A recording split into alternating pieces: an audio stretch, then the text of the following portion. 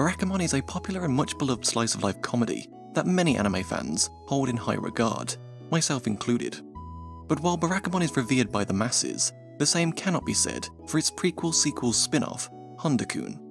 On the surface, this makes a lot of sense. After all, while both series share the same protagonist, they are still fundamentally two very different types of anime. Barakamon being a laid back slice of life series, whereas Handa-kun is a fast paced high school gag comedy. However, just because Handa-kun isn't a true sequel to Barakamon in the form of a second season, it doesn't mean that it isn't worth watching. Handa-kun tells the story of Sei Handa, a boy who's hated by just about everyone, or so he believes. In actuality, he's the most popular kid in school, and is admired by his peers for his impeccable calligraphy skills, good looks, and cool personality. But thanks to his friend, Takao Kawafuji, who you may remember from Barakamon, he perceives all of this admiration as bullying, and subsequently shuts himself away from his classmates. However, his efforts to distance himself from others only ever seems to backfire, drawing more attention to himself and converting even the most skeptical of students into devoted followers. For those of you who have seen my Angel Densetsu video, you'll already know that Handa-kun is a misunderstanding comedy, as they share a similar type of humour. So if you enjoyed watching Angel Densetsu, then there's a fairly decent chance you'll enjoy the comedy here too. And if you've already seen Handa-kun, but haven't yet seen Angel Densetsu, then you're watching the wrong video. But to briefly retread what I said in that video, comedy anime can be extremely difficult to recommend, because comedy itself is so subjective that what I find hilarious might make you cringe, and vice versa. So while I continue talking about why I like Handa-kun, try to keep that in mind. A lot of the comedy in Handa-kun can basically be summarized like this. A new character is introduced who doesn't like Sei. Sei then unintentionally does something that they perceive as awesome through a series of misunderstandings. Said character then becomes a believer of Sei. Rinse and repeat. It's the type of comedy that some people can find a little boring after a while, but for me personally, I found it just as entertaining in the later episodes as I did with the earlier ones. I think part of the reason why it's able to remain entertaining, despite this rather repetitive formula, is because of how the episodes are structured, with each episode comprising of two to three short stories, rather than one long one, which helps to ensure that a single skit doesn't drag out any longer than it needs to. Of course, in order for a comedy like this to succeed in the first place, it needs to have a strong cast of characters, and fortunately, Handa-kun doesn't disappoint here. The main supporting cast comprises of fairly typical character tropes.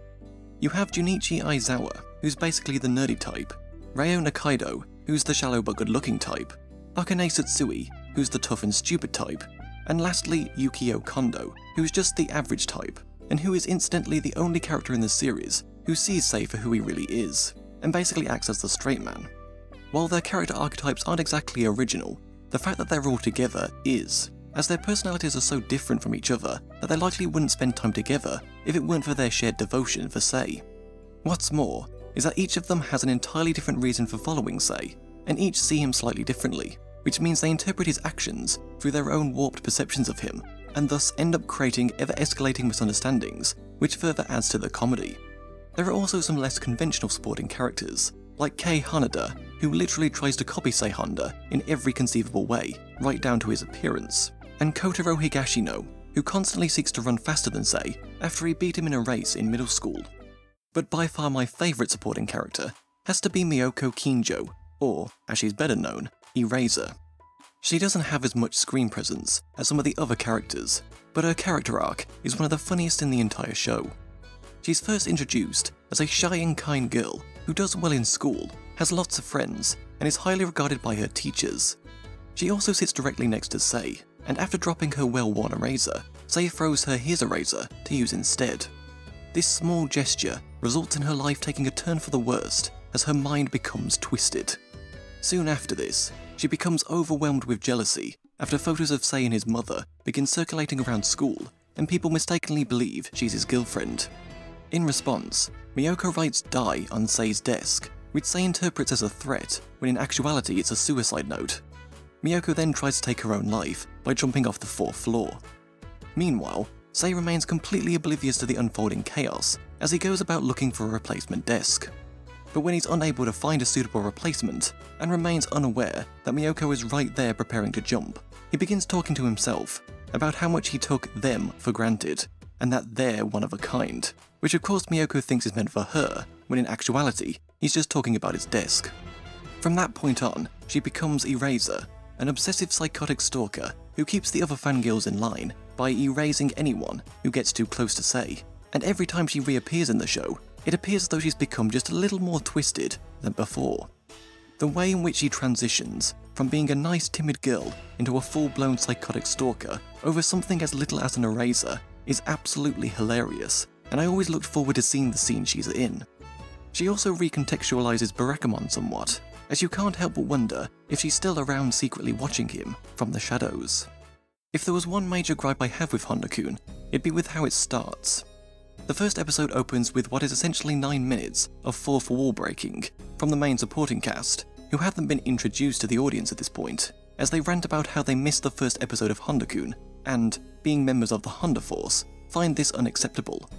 They then try to contact Diomedea, which is the studio responsible for the anime adaptation of Handa-kun, before attempting to make their own pilot episode instead. The first time I watched this, it didn't really gel with me all that well, as it's only really funny once you've gotten to know the characters a bit more.